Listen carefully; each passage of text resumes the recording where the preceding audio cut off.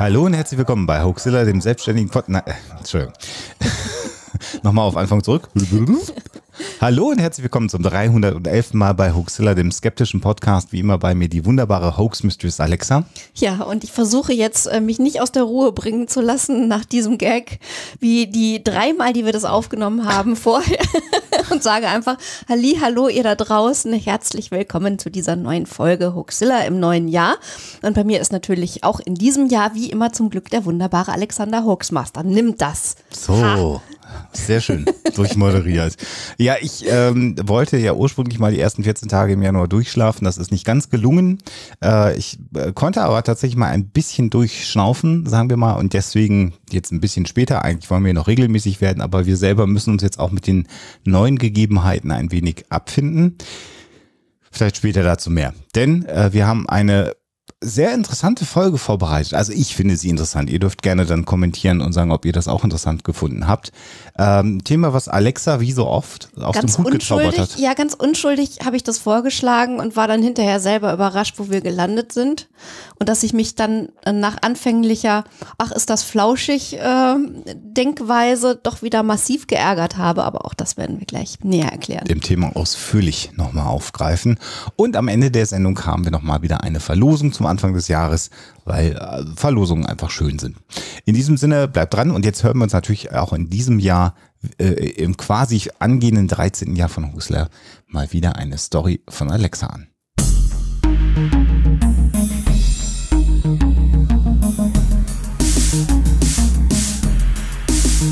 Die Story der Woche. Am 8. Januar dieses Jahres, also 2023, hat es in der Stadt Brasilia einen Sturm auf den Kongress gegeben. Und man kann natürlich nicht umhin, sofort einen Vergleich zu ziehen zum Sturm auf das Kapitol am 6. Januar 2021. Und das wird alles noch viel verrückter, wenn man sich ein Foto anguckt, was in diesem Zusammenhang durch die Medien gegeistert ist in den letzten Tagen, Wochen. Das zeigt nämlich einen brasilianischen Schamanen, der äh, damit beteiligt gewesen sein soll, der dabei gewesen sein soll bei diesem Sturm auf den Kongress. Es waren zum Glück in Brasilia keine Abgeordneten anwesend. Es ist zwar ein erheblicher Sachschaden entstanden, aber ähm, es war nicht so blutig wie der Sturm auf das Kapitol 2021. Und auch da hat es ja den sogenannten QAnon-Schamanen Jacob Chansley gegeben, der da wirklich mit seinem Hörnchenhelm und Fell und so weiter ähm, mitgelaufen ist und da erheblich beteiligt war an dieser ganzen schrecklichen Geschichte.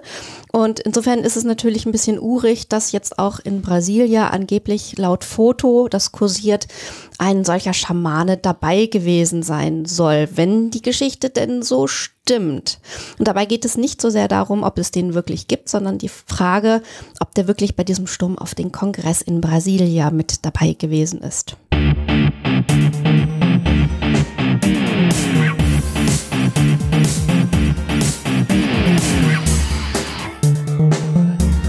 Thema der Woche. Tja, bei diesem Thema geht schon damit los, dass man gar nicht so weiß oder ich weiß gar nicht so genau, wie man den Namen ausspricht. Ob es jetzt Alain Kardec oder Alan Kardec ist. Ähm, ja. Wir bleiben mal beim Französischen, glaube ich. Einfach. Ja, wir sagen einfach Alain Kardec und ähm, versuchen mal, ob wir seinen tatsächlichen Namen ausgesprochen kriegen. Das kann ich ja mal versuchen. Ja. Denn dieser Mensch, der uns heute beschäftigt, äh, hieß gar nicht wirklich äh, Alan Kardec, sondern hieß Hippolyte Léon Denisard Rivaille und war ein Spiritist äh, im 19. Jahrhundert. Man könnte so ein bisschen sagen, der Godfather of äh, Spiritism, jedenfalls einer besonderen Ausprägung davon ähm, die uns heute in der Sendung als Thema beschäftigen soll, die sich auch so ein bisschen abhebt von dem, was wir sonst so vielleicht als Spiritismus kennen und etwas, das ich am Anfang einfach nett und spannend und irgendwie eine coole Geschichte fand. Und dann am Ende habe ich mich damit beschäftigt, was da heute so davon übrig geblieben ist. Und da wurde ich sauer. Äh, du musst mir nochmal sagen, Alexa, weil ich äh, den Namen gar nicht auf dem Schirm hatte und der war ja noch viel mehr als ein Spiritist, das müssen wir nachher nochmal mhm. erklären. Aber wie bist du denn auf Alain Kardec gekommen? Ähm, auf äh, die, diese, also es haben mich Umwege äh, an ihn erinnert. Ähm, ich muss so anfangen. Ich, ich war vor einiger Zeit ähm, gezwungen, mich beruflich mit Ufologie auseinanderzusetzen. Ja. Ihr merkt schon, äh, jetzt wird's ein bisschen verrückt. Und ähm, hab mal geguckt, wie weit denn dieses UFO-Phänomen oder vielmehr äh, die, die Ausrichtung des Kommunizierens mit Aliens so zurückgeht. Und da bin ich auf äh, Emanuel Swedenborg gestoßen, der im 18. Jahrhundert schon äh, von sich behauptet hat, er würde mit Engeln und Geistwesen kommunizieren. Und was bei ihm auch so eine gewisse Alien- oder Wesen anderer Welten Ausprägung hatte.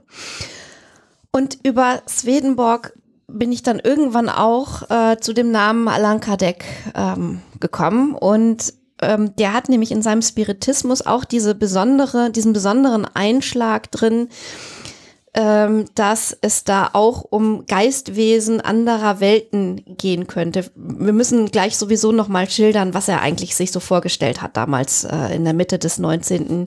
Jahrhunderts. Vielleicht sollten wir das an dieser Stelle mal direkt machen. Also vielleicht so, so ein paar Eckpunkte seines Lebens vorweg.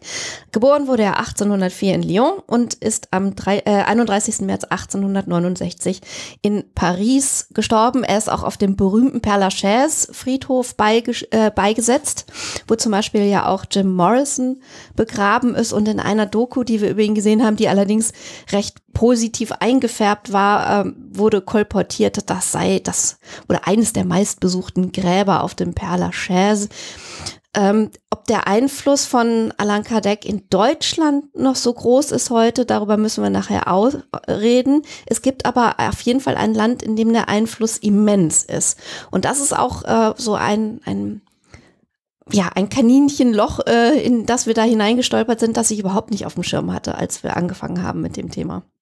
Wir müssen bei äh, Rivai jetzt mal, wenn wir ihn bei seinem echten Namen äh, benennen, Hippolyte Rivai, ähm, nochmal kurz sagen, dass er im Grunde genommen sein, sein Leben und seine Karriere begonnen hat als Gelehrter. Mhm. Und zwar als, als Lehrer. Als Lehrer mhm. äh, ähm, er hat bei Pestalozzi sogar gelehrt, gelernt in der Schweiz und ist bei dem ja auf Reformpädagogik äh, aufmerksam geworden. Ja, also Pestalozzi ist ja so der, der Vorläufer oder der Vorreiter von dem, was dann später die Reformpädagogik geworden ist.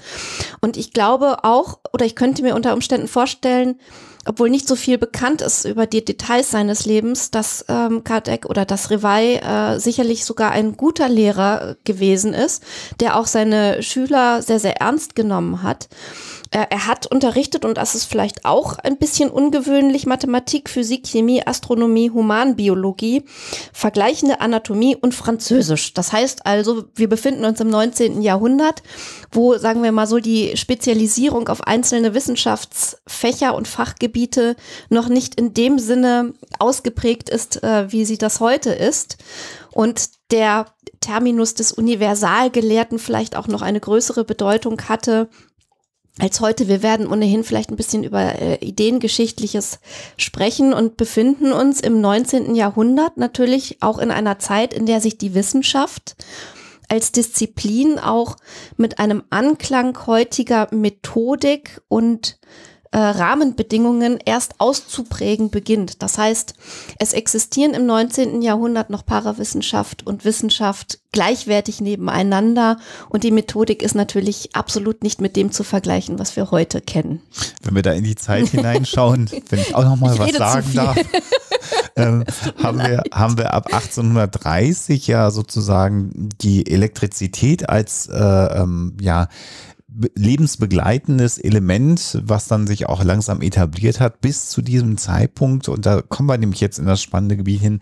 Waren Dinge wie Magnetismus, Elektrizität neu und waren nicht Dinge, die zwingend an Universitäten erstmal gelehrt wurden, sondern eher so in Sideshows oder in Spektakulums präsentiert wurden. Wir haben ja auch mal eine Folge über den wahren Frankenstein gemacht, wo es dann darum ging, kann man mit Elektrizität eventuell Verstorbene wiederbeleben? Also all diese Experimente fanden ja statt, weil sich die insbesondere Physik, Chemie, die Naturwissenschaften noch formen und bilden mussten und auch sozusagen die, äh, die Wissenschaft in ihrer Fähigkeit, Theorien zu überprüfen, äh, noch offener war. Man hatte neue Dinge plötzlich entdeckt, die man noch nicht so wirklich genau erklären konnte, war dabei, das äh, einzubauen.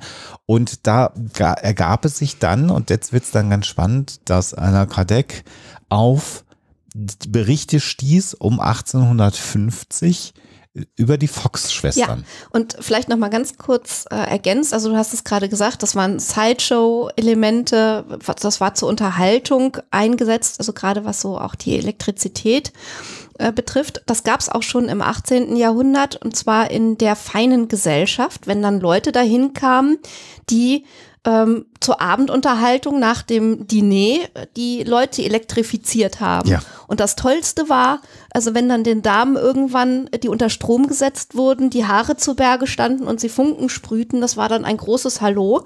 Und man hatte dann äh, im Zeitalter vor Netflix trotzdem irgendwie seine Abendunterhaltung. Und auch bei den Fox-Schwestern haben wir ja, die du gerade richtigerweise natürlich angesprochen hast, das absolute Phänomen, dass die Leute einerseits total fasziniert davon waren, dass die behauptet haben, mit Geistern kommunizieren zu können, also mit den Seelen Verstorbener. Mhm. Das war aber bei den Shows, die sie dann hinterher, man kann fast sagen, aufgeführt haben, auch durchaus noch das Unterhaltungselement. Also diese, diese neue Mode des Spiritismus, der aus den USA mit den Fox-Schwestern rüberschwappt, der hat ein riesengroßes, dickes, fettes Unterhaltungselement. Genau, der Strom kam eben zu dieser Zeit noch nicht aus der Steckdose, so wie er heute aus der Steckdose kommt, sondern ja aus den Wunderkisten von irgendwelchen Schaustellern, so kann man es fast formulieren. Und das äh, hast du sehr schön beschrieben. Also es war so neu, dass man einfach damit, dass man äh, Haare zu Berge stehen lassen, den ganzen Abend unterhalten konnte, was ja heute keinen mehr hinterm Ofen vorholen mhm. würde. Und da war natürlich auch durchaus so ein bisschen Grusel mit dabei. Was ja. ist das für eine neue Kraft, die da wirkt? Können wir die wirklich bändigen? Weil man es ja nicht sehen konnte genau, und nicht spüren genau, konnte. Genau, das, das, dass man's, das ist super, dass du das sagst, dass man es nicht sehen konnte. Das wird nämlich hinterher noch wichtig. Genau.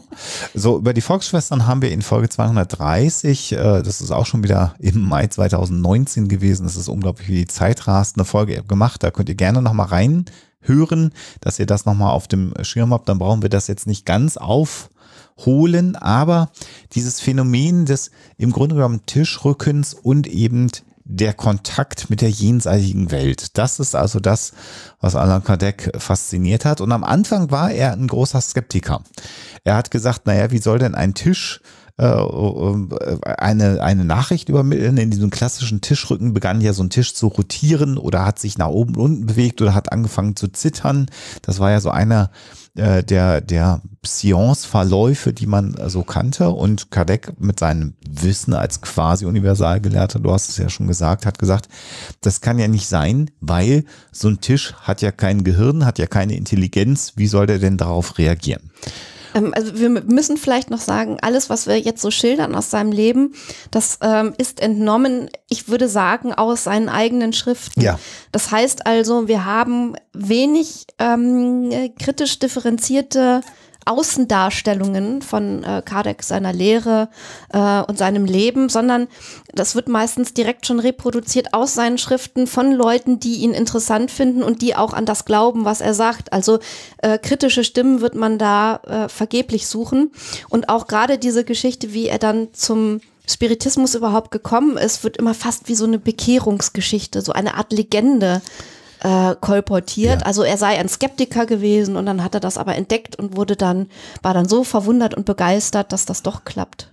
Ganz spannend ist, dass der äh, Wikipedia-Artikel, den werden wir euch natürlich verlinken zu Alain Kardec, eigentlich im Grunde genommen keine relevanten Quellen aufweist, außer seine eigenen Bücher äh, und eine Biografie über ihn. Aber das ist eben auch eine, eine Biografie, wo man sagt, naja, äh, ist es wirklich eine Biografie oder ist es so, wie du es beschreibst? Denn diese Biografie äh, stammt dem Informationsportal über die spiritistische Lehre. Äh, das mal so äh, dahingestellt. Also, ähm, wir waren jetzt also stehen geblieben bei dem Punkt, dass er gesagt hat, naja, äh, wie kann das sein? Und dann hat er, so wird es zumindest kolportiert, die These aufgestellt, es sei denn, also wenn der Tisch kein Gehirn hat und keinen eigenen Willen hat, Vielleicht gibt es aber irgendeine eine Welt drumrum, eine Energie, eine Macht, wie auch immer, vielleicht ja auch die jenseitige Macht, denn es ging ja darum, mit Verstorbenen insbesondere in, in Kommunikation zu treten, die einen Einfluss nehmen kann auf diesen Tisch. Und damit war er sozusagen ein Stück weit im spiritistischen Umfeld unterwegs. Er hat dann selber an einer Seance teilgenommen, so wird es berichtet und äh, hat da dann erfahren, dass er früher ein Druide gewesen ist. Äh, und dieser Druide, der früher gelebt hat, hieß eben Anal Kardec und das war dann sozusagen der Name, unter dem er seine spiritistischen äh, Schriften veröffentlicht hat und nicht unter seinem eigentlichen Namen Hippolyte Rivai. Ähm, und jetzt kommt eine ganz interessante Geschichte, wie sie kolportiert wird, nämlich die Frage, wie geht denn jetzt so ein Universalgelehrter an die Frage heran, gibt es sowas wie eine spiritistische Welt? Und wenn man dann dem glaubt, was so geschrieben wird, dann hat er an alle möglichen Medien in der Welt Fragen geschickt und hat gesagt, die sollen mir mal diese Fragen beantworten, diese Medien. Und wenn die Antworten halbwegs übereinstimmen, dann kann das ja nur eines bedeuten, dass nämlich die Antworten aus einer Quelle stammen, die all diese Medien in ihren Seancen anzapfen. Und man höre und staune und wundere sich kaum. So wird genau, es immer gesagt. Genau. genau. die Antworten äh, seien übereinstimmend gewesen. Das sei dann der, und das ist entscheidend, der angeblich wissenschaftliche Beweis ja. dafür, dass da was dran sein muss. Er wird ja immer als, also von denen, äh, die seiner Lehre anhängen, als großer Logiker und äh, großer Wissenschaftler gefeiert. Ähm, wir können ja mal äh, an dieser Stelle einen Blick darauf werfen, was überhaupt für Allan Kardec Spiritismus ist. Und da können wir aus seiner eigenen Schrift eine Übersetzung äh, mit einer Definition einfach mal vorlesen, damit ihr das so ein bisschen im Ohr habt, was er sich darunter vorstellt. Der Spiritismus ist gleichzeitig eine Wissenschaft der Beobachtung und eine philosophische Lehre. Als praktische Wissenschaft besteht er aus den Beziehungen, die zwischen uns und den Geistern hergestellt werden. Als Philosophie versteht sie alle moralischen Konsequenzen, die sich aus denselben Beziehungen ergeben. Der Spiritismus ist eine Wissenschaft, die sich mit der Natur, dem Ursprung und dem Schicksal der Geister sowie ihren Beziehungen zur Körperwelt befasst. Ähm, und vielleicht noch hinterher die Grundprinzipien des Spiritismus, wie sie auf einer Gesellschaft, äh, auf der Seite einer Gesellschaft, die sich eben mit Allan Kardec beschäftigt, äh, dargestellt werden. Äh, der Glaube an Gott, der Glaube an die Unsterblichkeit der Seele, der Glaube an die Mitteilungsfähigkeit der Geister, der Glaube an die Reinkarnation, der Glaube an die Vielzahl der bewohnten Welten. Ähm, also wenn man das jetzt so liest, also der Spiritismus ist eine Wissenschaft und eine philosophische Lehre, dann hört sich das erstmal ziemlich gut an, wenn das ein so gebildeter Mensch wie Kardec äh, sagt, wie Rivai sagt, dann muss da ja irgendwie was dran sein. Und ähm, du hast ja auch gerade fast schon so etwas wie wissenschaftliche Herangehensweise beschrieben in der Art und Weise, wie er sich dem Spiritismus angenähert hat als Skeptiker, der sich dann äh, mit einem Experiment äh, annähert und dann sagt, oh, okay, das war jetzt aber so überzeugend als Ergebnis, dass ich das jetzt glauben muss. Ähm, wenn man aber näher hinschaut, dann, dann sieht man ganz klar, dass er einfach von der Grundannahme ausgeht, dass es Geister gibt. Mhm. Und davon ausgehend sozusagen alles andere darauf aufbaut. Und ähm, äh, er sagt sogar an einer Stelle äh, im Hinblick auf Aberglauben, dass Aberglaube nur das sein kann, was ähm, irrig ist. Und in dem Augenblick, wo ein Aberglaube als anerkannte Wahrheit identifiziert wird, hört es auf, Aberglaube zu sein. Das ist natürlich in, also in gewisser Hinsicht ein Zirkelschluss, äh, den er da macht. Und ähm, eben diese Grundannahme, die er da zugrunde legt, die lässt sich ja per se gar nicht belegen. Er sagt aber, ähm, es muss nicht belegt werden, dass es Geister gibt. Das ist also sozusagen äh, Fakt. Fakt. Das ist die anerkannte Wahrheit. Und solange nicht das Gegenteil bewiesen ist, dass es keine Geister gibt, solange lassen wir eben diese anerkannte Wahrheit bestehen. Und dann kann er natürlich auf diesem Gedankengebäude seine ganze Lehre aufbauen. Und das ist natürlich der entscheidende äh, Fehler in der Argumentation, die, die man dann auch hinterher mit Logik oder den man dann mit Logik nicht mehr ausbügeln kann. Wir leben in einer Zeit, er hat äh, quasi zeitgleich fast gelebt äh, mit Helena Blavatsky, die sich dann äh, ja der Theosophie gewidmet hat, einer weiteren Lehre. Da waren es dann ja auch ja eine spiritistische Welt, äh, der sie sich bemächtigen konnte. Wir haben einen Rudolf Steiner, der ja auch viele seiner ähm, Weisheiten und Lehren geschaut hat. Also die sind ihm ja mitgeteilt worden äh, als ultimative Wahrheit. Also in dieser äh, gesellschaftlichen Situation befinden wir uns und der Kardizismus, wie er dann heute benannt wird, ähm, war insofern sehr gut andockungsfähig, weil äh, Alain Kardec ganz viel des äh, christlichen Glaubens Ja, drin gelassen Das hat, er, hat. das hat er interessanterweise von Swedenborg äh, übernommen, der ja als Theosoph, also nicht äh, Blavatsky-Theosoph, sondern ähm, äh, sozusagen ähm, ja sehr gottesfürchtiger, sehr religiöser äh, Mensch, der da seine seine Sicht auf die geistige Welt, die er annimmt, sehr, sehr stark von Gott geprägt sieht, äh, der da sehr christliche, moralische Vorstellungen anlegt. Ähm, der hat äh, in dieser Weise ähm, Rival sehr, sehr stark beeinflusst. Der andere Einfluss, den man noch vielleicht kurz nennen muss, weil der hinterher bei den modernen ähm, Schwurbeleien auch so eine große Rolle spielt, ist der Mesmerismus. Also ähm, äh, Rival hat auch sehr, sehr stark äh, Anton Mesmer äh, damit eingebaut, mit seinem animalischen Magnetismus, diesem Fluidum, diesem, äh, dieser Lebenskraft, die äh, da angenommen wird im Mesmerismus. da müssen wir mal eine eigene Folge nochmal machen. würde wirklich lohnen, da nochmal äh, genauer hinzugucken. Vielleicht an der Stelle nur so viel, dass, ähm, wenn man äh, in den Mesmerismus guckt, ja auch äh, der Somnambulismus, dieser hypnotische Schlafzustand, in dem man aber trotzdem handlungsfähig ist, ähm, angenommen wird, der dann aber sozusagen die Grenzen zwischen der physischen und der geistigen Welt so weit verwischt, dass man entweder besondere Fähigkeiten an den Tag legt oder besonders kommunizieren kann. Ähm, das alles spielt beim Kardec'schen äh, Spiritismus auch eine Rolle.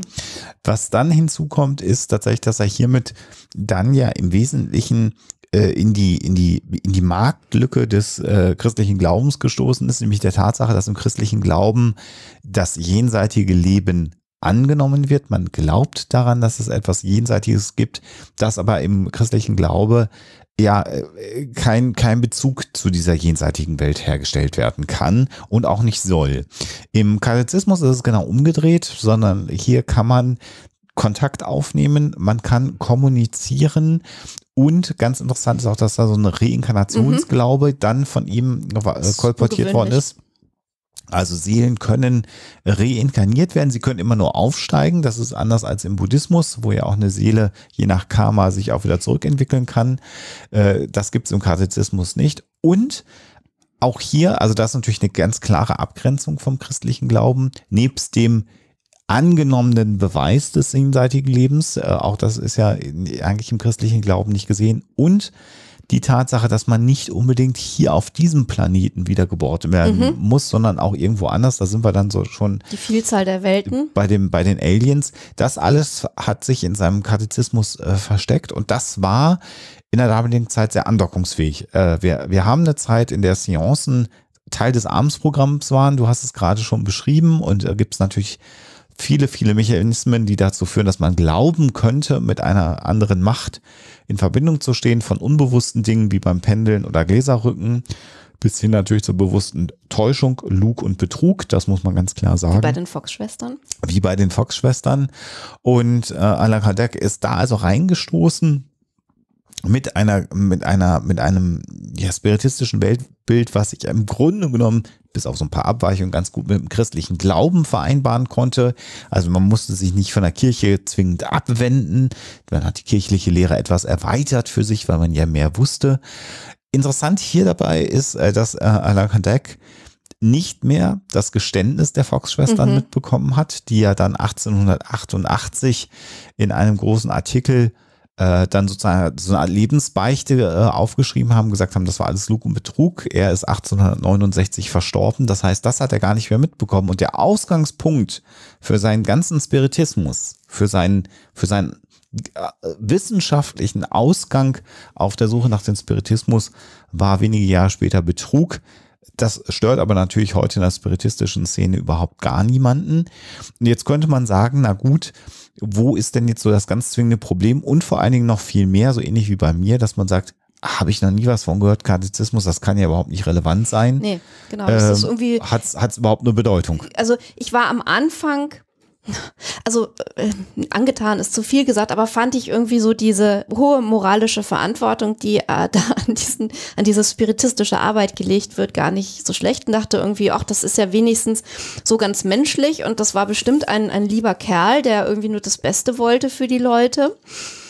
Und ähm, habe dann aber hinterher festgestellt, dass man auf diesem Gedankengebäude äh, in Kombination mit den ganzen esoterischen Strömungen, die ihm folgten und die sich wirklich auch viel von ihm dann hinterher mitgenommen haben, durchaus auch ähm, Dinge aufbauen kann, die höchst gefährlich sind. Also ähm, wenn man sich jetzt so, deutsche äh, Websites anguckt von Gesellschaften, die sich mit Allan Kardecks äh, Lehre äh, beschäftigen, dann wird einem teilweise so ein bisschen äh, eiskalt, weil man denkt irgendwie, das ist viel, wie bei vielen esoterischen Konstrukten, das klingt am Anfang alles total nett.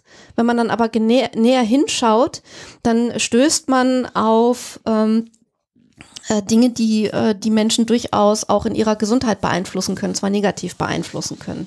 Was wir erlebt haben äh, oder erleben ist, äh, wenn wir jetzt den Blick so ein bisschen von Europa und Deutschland weg äh, richten, wir kommen nachher zurück äh, Ja. in unsere Gefilde, dass wir im äh, ausgehenden 19. Jahrhundert äh, in Brasilien plötzlich einen Aufwind des Kardizismus hatten. Es entstand in Rio de Janeiro um 1873, 1873 ein Zirkel äh, und relativ schnell ist dort in Brasilien im Grunde genommen ähm, in einer Kombination von Mesmerismus und dem Kardizismus äh, ja so eine medizinische Komponente hineingekommen, also so eine Art in Anführungsstrichen holistische Medizin.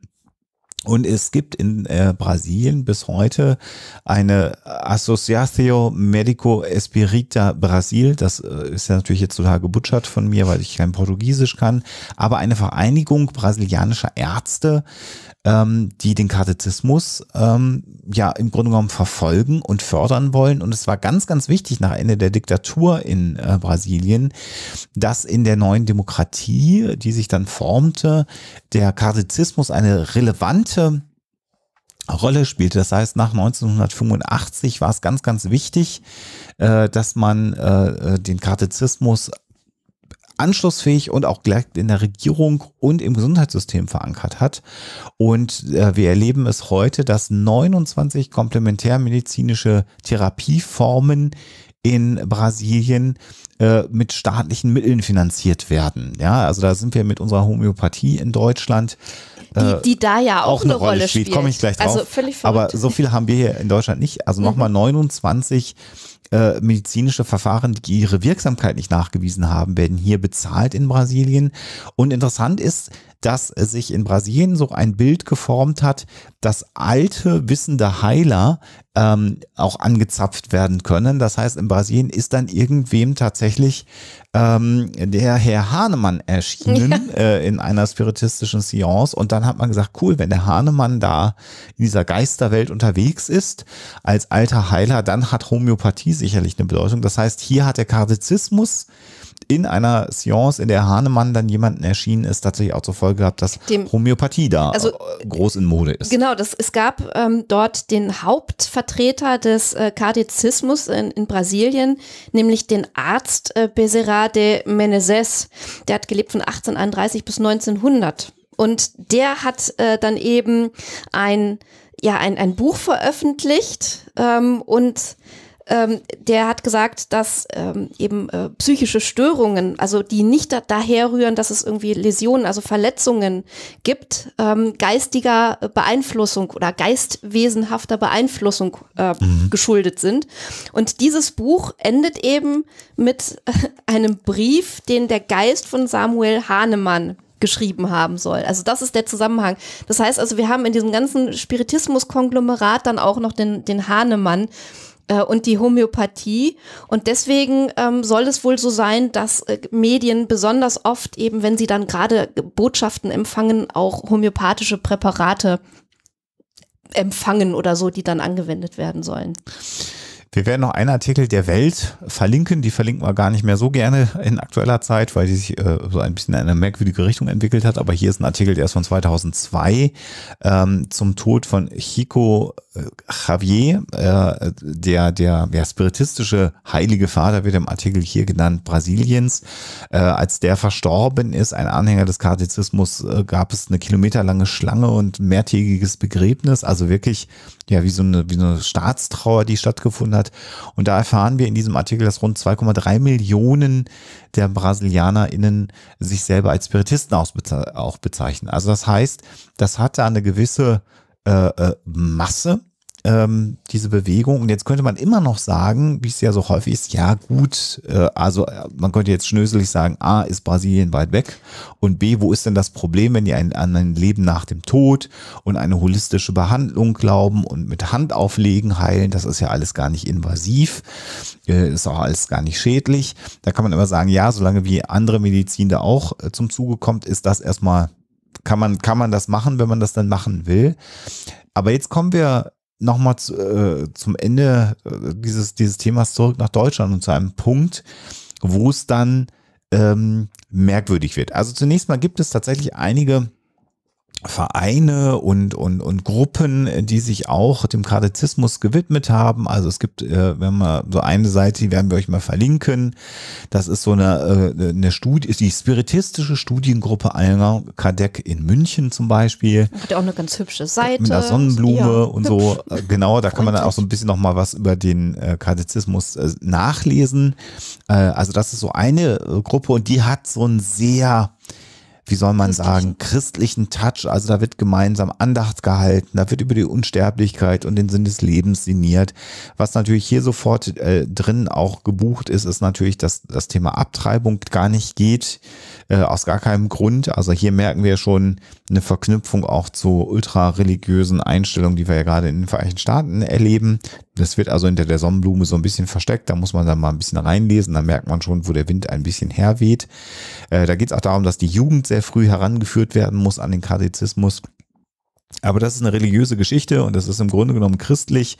Und wenn man dann der ultrachristlichen äh, äh Glauben folgen möchte mit allen Problemen, dann ist das natürlich eine freie Entscheidung. Wir haben aber nochmal, oder Alexa hat vielmehr nochmal ein paar Seiten aufgetan oder YouTube-Videos aufgetan, die wir euch verlinken werden. Und da wird einem dann schon ein bisschen anders, wenn man sich das anschaut. Ja, es gibt nämlich ähm, eine Vereinigung, die auch als eingetragener Verein agiert, die sich eben mit äh, Alan Kardec oder Alan Kardec und den Studien beschäftigt. Das Ganze nennt sich Alan Kardec Studien- und Arbeitsgruppe e.V. Alcastar. Und davon abgehend findet man dann Links zu einer Medienschule Marinho Göbel Dahinter steckt äh, unter anderem ein gewisser Herr Dagobert Göbel, der auf dieser Seite und auf anderen Seiten, die sich eben Allan Kardec äh, widmen, seinem Spiritismus, Mediumismus und seiner Lehre, äh, einige Dinge darstellt, die ich durchaus gruselig fand. Also ähm, in diesen YouTube-Videos, die wir euch verlinken, da werden dann so, so putzige Experimente gemacht mit Magnetismus. Da sind wir wieder bei Mesmer und seinem Einfluss auf Allan Kardec. Äh, und äh, anhand dieser Experimente wird dann eben dargestellt, dass es neben der materiellen Welt doch noch etwas anderes, etwas Geistiges geben muss, das wir nicht sehen können, das aber trotzdem da ist.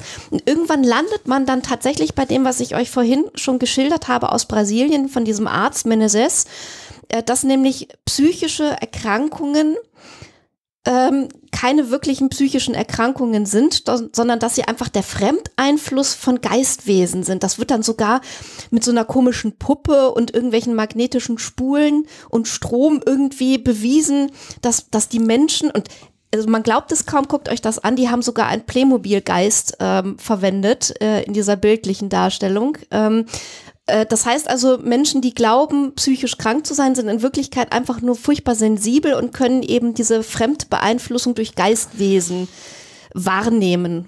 Also was man auch in diesem Video sieht, und da das ist so eine, eine Variation vom Intelligent Design, äh, da wird dann auch rumargumentiert, woher dann ein Hühnerei weiß, dass daraus ein Küken werden soll oder woher denn im äh, Körper äh, einer, einer äh, gebärenden äh, Person im Grunde genommen dann ein, ein Baby entsteht, wo das denn herkommen soll, darauf hätte Wo ist man. der Bauplan? Wo, genau, wo ist der Bauplan? Die Frage gestellt. Darauf hätte die Wissenschaft ja bis heute keine Antwort und dann werden immer irgendwelche brasilianische äh, Kardizismus-Anhänger genannt. Ähm, was hier einfach komplett in dieser ganzen Herleitung äh, zunächst mal ausgelassen wird, ist, dass wir eine DNA haben und das ist der Bauplan und das ist wissenschaftlich wunderbar bewiesen und dass eine DNA aktiviert werden kann äh, unter verschiedenen Bedingungen und dann dazu führt, dass sich ein Lebewesen formt, kommt daher. Es gibt dann äh, Bücher, die zitiert werden von Herrn Wallach, der sich natürlich inzwischen ein bisschen wegbewegt hat äh, vom ähm, äh, wissenschaftlichen Diskurs an der einen oder anderen Stelle. Äh, wir haben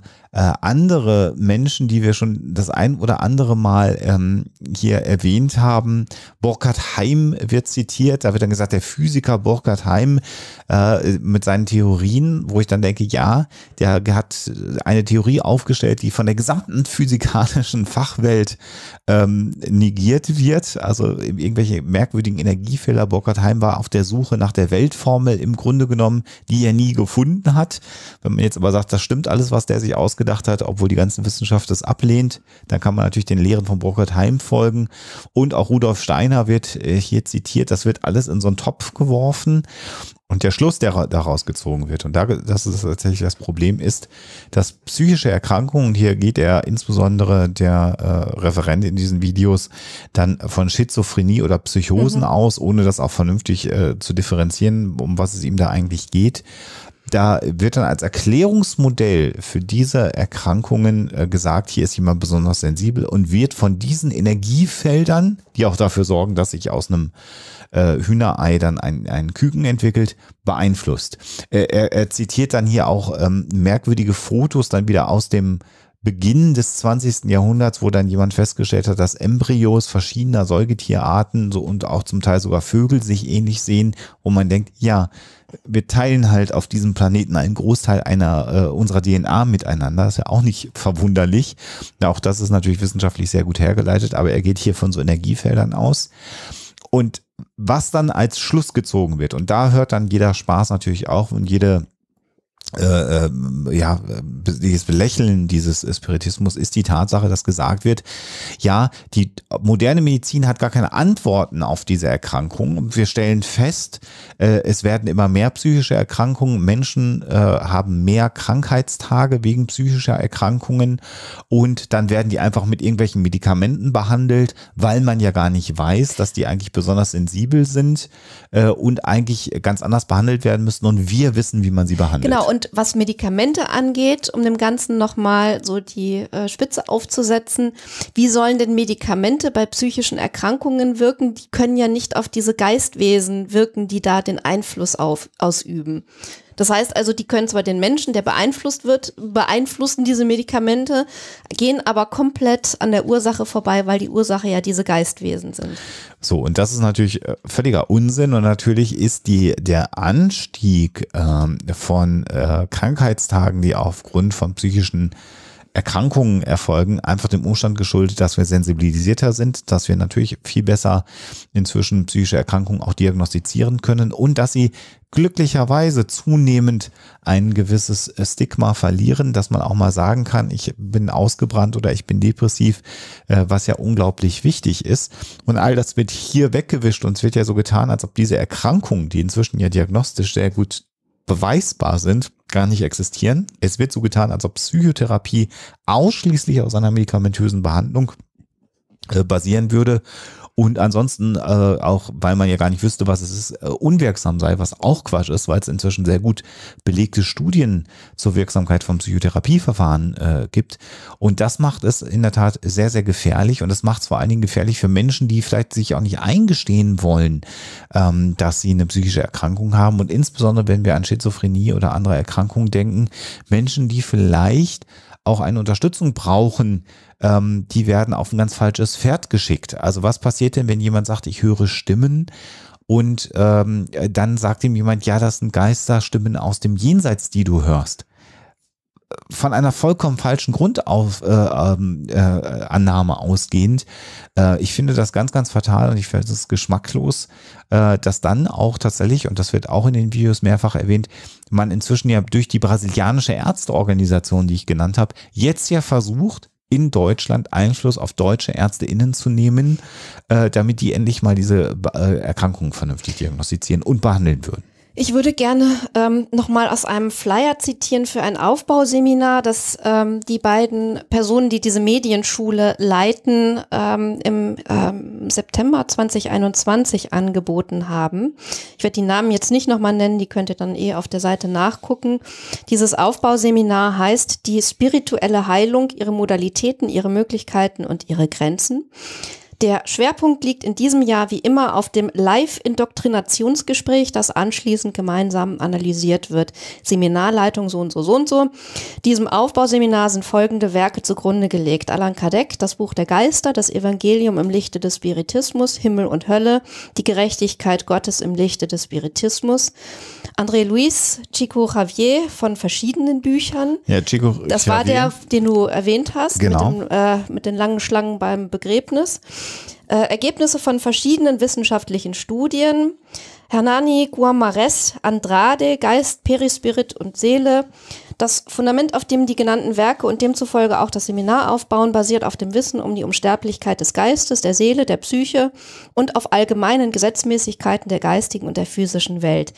Die Theorie wird veranschaulicht durch das Modell von Hernani G. Andrade sowie durch Computeranimationen und kleine technische Experimente. Das sind wahrscheinlich die aus dem YouTube-Video. Äh, außerdem werden auch praktische Schwerpunkte unserer Ausbildungsmodule nicht zu kurz kommen. Doppelpunkt Schutz vor Fremdeinfluss, energetisches Reinigen und Aufladen, der Umgang mit der Sensibilität, Hellsehen, Hellhören, Hellfühlen, Telepathie, in Klammern darunter Psychografie, mechanisches, halbmechanisches, inspiriertes Schreiben, dann bewusster Umgang mit höheren geistigen Wesenheiten, bewusste disziplinierte Kontaktaufnahme mit erdgebundenen Seelen. Es bleibt auch Zeit für Fragen. Abends sehen wir themenbezogene Videos.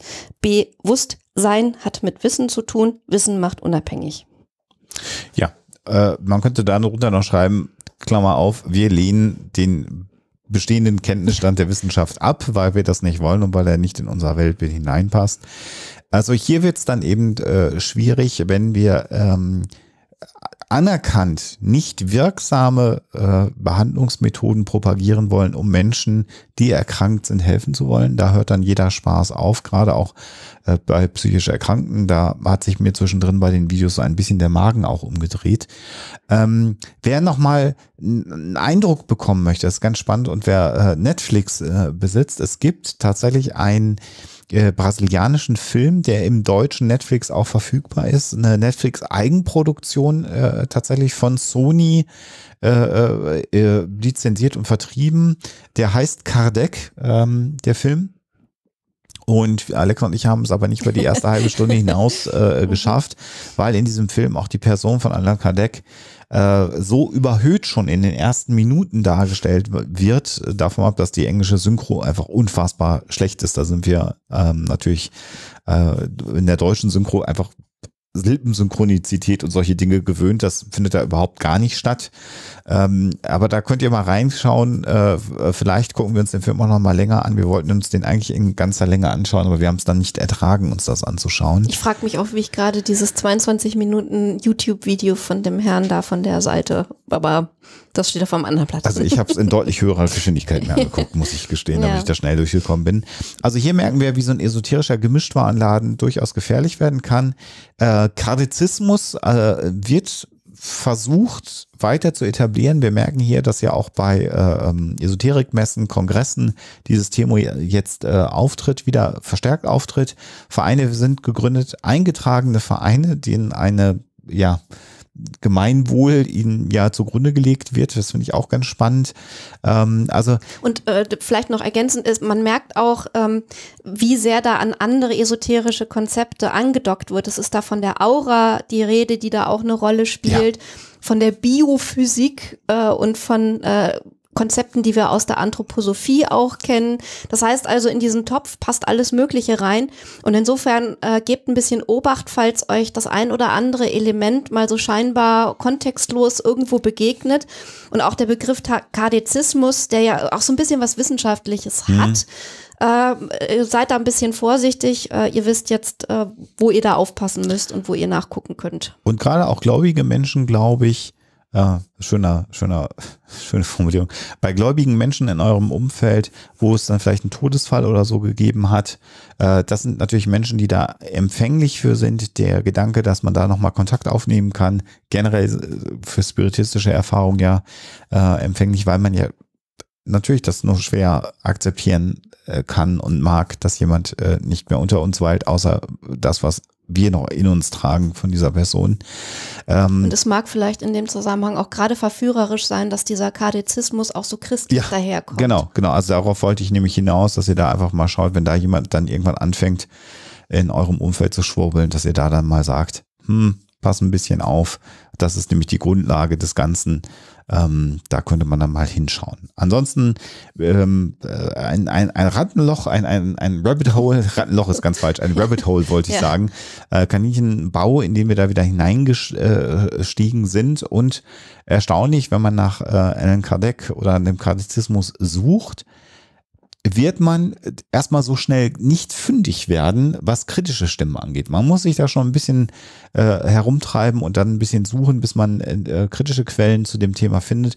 Das allermeiste kommt mit so einem verbrämten, äh, religiös-esoterischen, holistischen, alternativmedizinischen, Komplementär komplementärmedizinischen Dünkel daher und da werdet ihr zugeknallt ähm, mit Texten und, und, und Internetseiten zu diesem Thema, die alle ganz lauschig klingen aber es dann natürlich am Ende nicht sind. Genau, und äh, nochmal Asche auf mein Haupt wegen meines Eurozentrismus. Ich hatte äh, das in Brasilien überhaupt nicht auf dem Schirm. Das hat mich auch mal wieder überrascht. Aber es, auf der anderen Seite, da denkt man sich dann irgendwie so ein, so ein Thema aus für eine Folge, fängt an zu lesen und landet plötzlich an, in Ecken, die man vorher überhaupt nicht erwartet hätte. Das hat ja auch was Schönes. Und da haben wir euch ein bisschen hoffentlich auf die Reise mitgenommen, die wir da so gemacht haben. Das soll es mal zum Thema Kardizismus, Alan Kardec, Alain Kardec gewesen sein. Jetzt müssen wir natürlich nochmal aufklären, was es in Brasilien mit dem Schamanen auf sich hat. Und dann machen wir noch am Ende der Sendung kurz die Verlosung, die wir nämlich auch noch haben in der Sendung. Die Auflösung.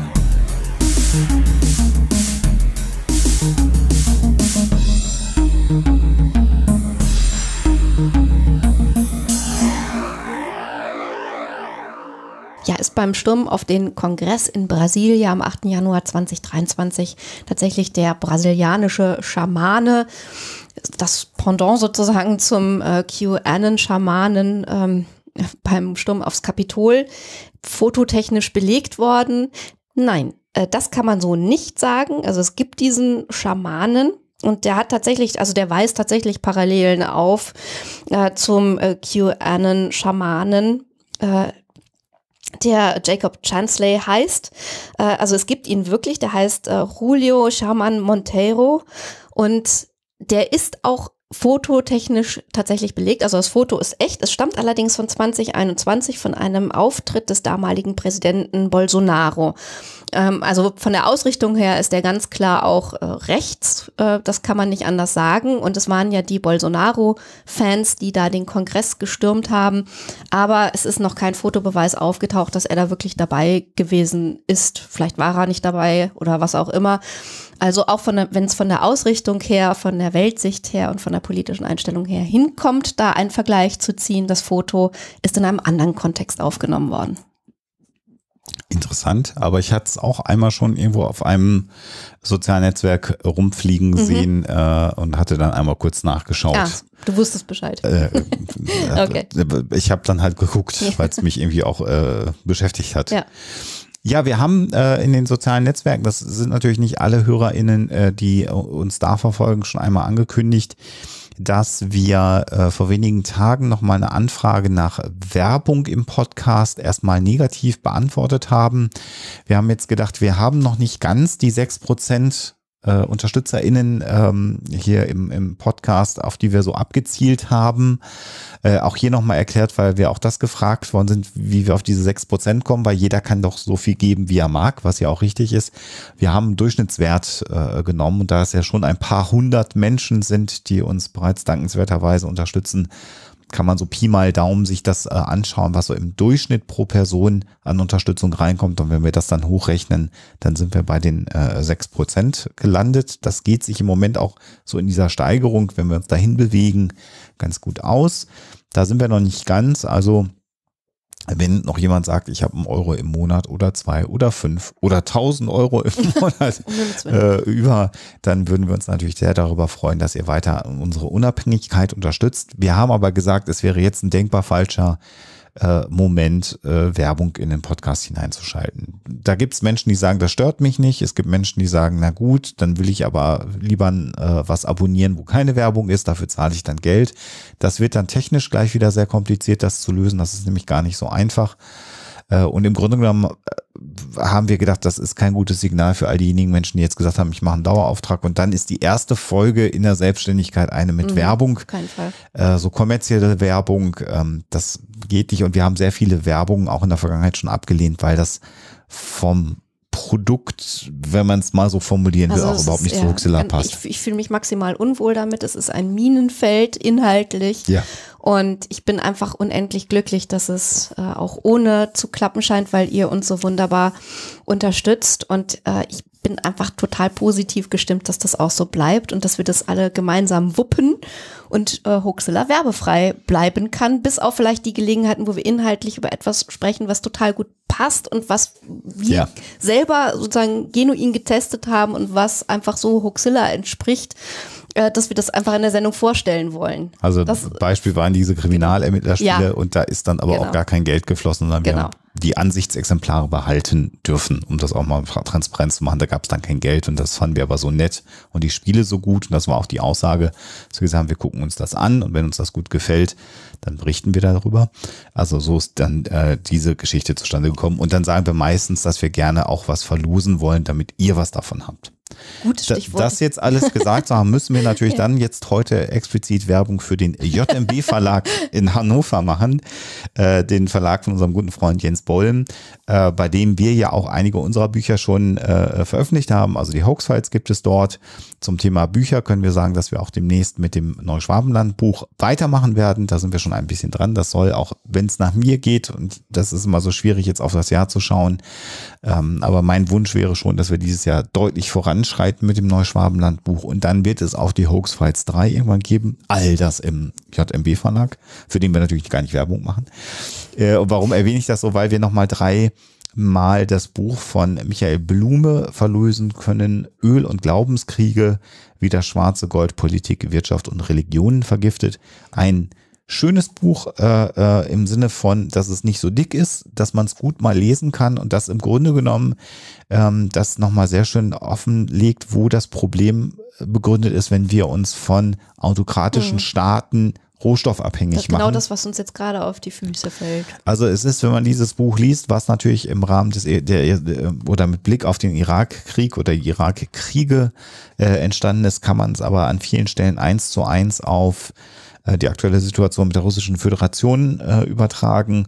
Und wir durften ja für diese Neuauflage des Buches das Vorwort schreiben. Äh, darüber haben wir uns sehr gefreut und äh, fanden das Buch auch so gut, dass wir gesagt haben, ja, das machen wir sehr gerne.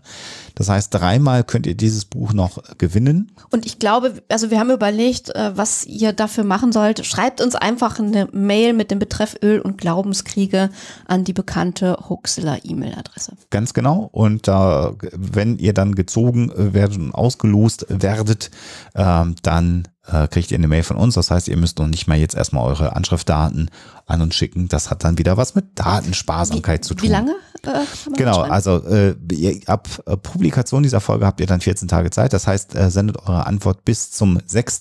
Februar 2023, 23.59 Uhr an info.huxela.com und dann losen wir unter allen Einsendungen drei aus, die dann das Buch erhalten. Ähm, Ja, damit sind wir am Ende der ersten Folge des, des Jahres 2023 und das fühlt sich sehr, sehr gut an. Äh, wir haben uns da schön drauf vorbereiten können. Wir haben wenig Druck. Ich habe jetzt gleich ganz entspannt die Publikation der Folge vor mir äh, und das ist schon was Besonderes. Und wir haben im Grunde genommen die nächsten zwei Folgen schon äh, mhm. inhaltlich, gedanklich äh, auf Halde liegen. Das könnte jetzt relativ schnell gehen. Und wir wollen im Laufe diesen Jahres auch noch, dieses Jahres auch noch ähm, ein bisschen mehr ähm, Interaktion mit euch ähm, machen, aber das werden wir euch wahrscheinlich sogar noch in einem, in einem Video erklären. Ähm, was noch bleibt, ich habe das vor einigen Tagen schon einmal gepostet, ist ein, ein großes Dankeschön zu sagen für äh, über 3,3 Millionen heruntergeladene Huxilla-Folgen im vergangenen Jahr. Das sind alle Folgen, die jemals entstanden sind. Also weit über 400 Folgen gibt es ja inzwischen, die man herunterladen kann. Und wenn man da alle Downloads des vergangenen Jahres zusammenrechnet äh, und auch Streams und andere Geschichten, also jeder, der da hört, in Anführungsstrichen, oder runterlädt und nicht hört, dann ist das auch mit drin. Das kann ich natürlich nicht nachprüfen anhand der Zahlen. Aber 3,3 Millionen Downloads aus 173 Ländern der Welt, das hat uns doch schwer beeindruckt und auch sehr gefreut. Und das zeigt, dass wir nach wie vor aktiv dabei sind. Und für all diejenigen, die immer so gesagt haben, naja, diese Wildmike Specials, die finde ich nicht so gut und jetzt vielleicht auch nur den Huxilla Pure Feed, wie ich ihn genannt habe, abonniert haben, also da, wo nur die Huxilla-Folgen drin sind. Da können wir nochmal sagen, dass die am meisten heruntergeladene ja, Folge im stimmt. vergangenen Jahr ein Wild Mikes Special gewesen ist. Die zweite war dann auch eine Huxilla-Folge. Aber äh, das ist, äh, das gehört inzwischen, glaube ich, für, für die allermeisten zusammen und die am meisten heruntergeladene Folge war tatsächlich ein Wild Mike Special. Das heißt, die haben schon auch ihre Daseinsberechtigung. Für, wie gesagt, für alle, die es nicht wollen, gibt es auf unserer Homepage ja den Link zu einem Podcast-Feed, wo es dann nur diese Episoden gibt, wo man nur Alexa und mich und mal einen Gast äh, eventuell hören kann. Und vielleicht mal eine Katze. Und vielleicht mal eine Katze eventuell. Genau. Die hat sich inzwischen übrigens hier wieder verzogen. Das heißt, das ich kann jetzt auch gleich sein. schneiden. Genau. Ja, vielen Dank an euch. Äh, äh, das war eine besondere Folge, die erste Folge äh, als, als Vollzeit-Podcaster. Ich glaube, die werde ich noch ein bisschen in Erinnerung behalten. Wir hoffen, dass euch das Thema Ellen Kardec, Alain Kardec gut gefallen hat. Und wir hören uns ganz bald wieder hier in diesem Podcast-Feed, in äh, eurem Podcast-Abspielgerät der Wahl, was es auch immer sein mag. Und bis dahin bleibt mir nur zu sagen, bleibt gesund, passt auf euch auf und natürlich immer schön skeptisch bleiben. Tschüss. Der Huxilla Podcast ist ein kostenfreies Projekt und soll das auch immer bleiben. Das ist uns sehr wichtig und du kannst uns dabei helfen, so wie das schon viele andere tun. Vielen Dank dafür. Huxilla unterstützen geht dabei ganz einfach. Zum Beispiel durch einen kleinen monatlichen Dauerauftrag von einem Euro im Monat auf unser Geschäftskonto oder via PayPal. Wie das genau funktioniert, seht ihr auf huxilla.com unter dem Punkt Unterstützen.